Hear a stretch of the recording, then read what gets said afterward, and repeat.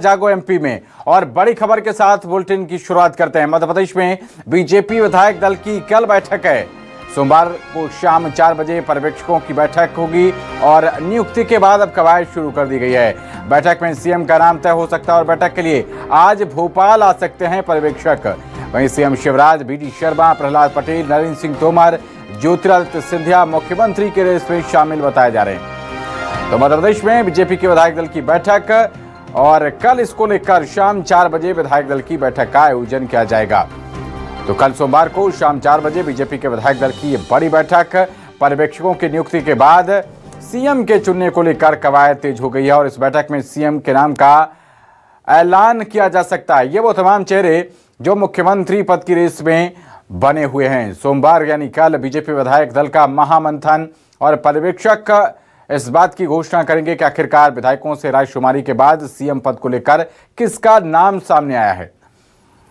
तो मुख्यमंत्री शिवराज सिंह चौहान, नरेंद्र तोमर और ये मध्य प्रदेश के बीजेपी के पर्यवेक्षक हैं मनोहर लाल खट्टर, हरियाणा के मुख्यमंत्री के लक्ष्मण बीजेपी के ओबीसी मोर्चा के राष्ट्रीय अध्यक्ष हैं और आशा लाकड़ा, जो बीजेपी संगठन के राष्ट्रीय सचिव। तो मध्य प्रदेश के मुख्यमंत्री के, के नाम को लेकर जो कवायद करेंगे वो तीन चेहरे आपकी स्क्रीन पर।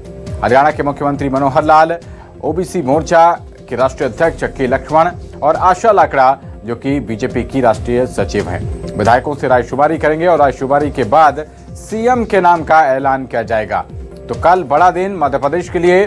मध्य प्रदेश की जनता को कल अपने मुख्यमंत्री के नाम का पता चल सकता है और उसको लेकर तमाम कवायदे का दौर लगातार जारी है।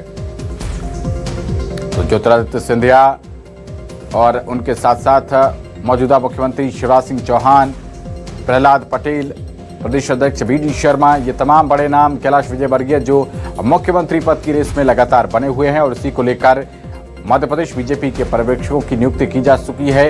कल शाम चार बजे विधायक दल की बैठक का समय मुकर्र किया गया है। इस बैठक में ये तमाम विधायकों के साथ ये तीन चेहरे बड़ा मंथन करेंगे और मंथन के बाद मुख्यमंत्री आखिरकार कौन होगा, उसके नाम का ऐलान किया जाएगा। मध्य प्रदेश के मुख्यमंत्री के लिए कवायद अपनी जोरों पर है और सब, सभी जो दावेदार हैं, उनके दिलों में लगातार ख्वाहिशों का एक ज्वार भाटा देखने को मिल रहा है कि आखिरकार राजनीतिक करवट कब किस ऊँट बैठेगा? खबर पर ज़्यादा जानकारी के साथ हमारे संवाददाता शब्बीर अहमद जुड़ रहे हैं। शब्बीर बेहद अहम दिन कल का भी है लेकिन उससे पहले आज भी लगातार जो भी नाम विधायक की रेस में शामिल हैं उनके दिलों में एक ज्वार भाटा जैसा उतार चढ़ाव। कि आखिरकार कौन होगा वो सौभाग्यशाली व्यक्ति जिसको मध्य प्रदेश की कमान मिलेगी? शब्बीर। हेलो अब भैया को लगा के बोल बोल। शब्बीर क्या सुन पा रहे हैं आप मुझे?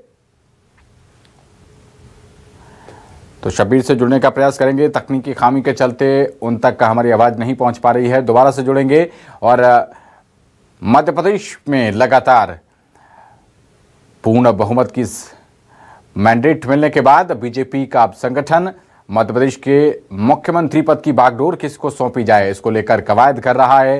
कैलाश विजयवर्गीय, प्रहलाद पटेल, नरेंद्र तोमर बी डी शर्मा, ज्योतिरादित्य सिंधिया या मौजूदा मुख्यमंत्री शिवराज सिंह चौहान।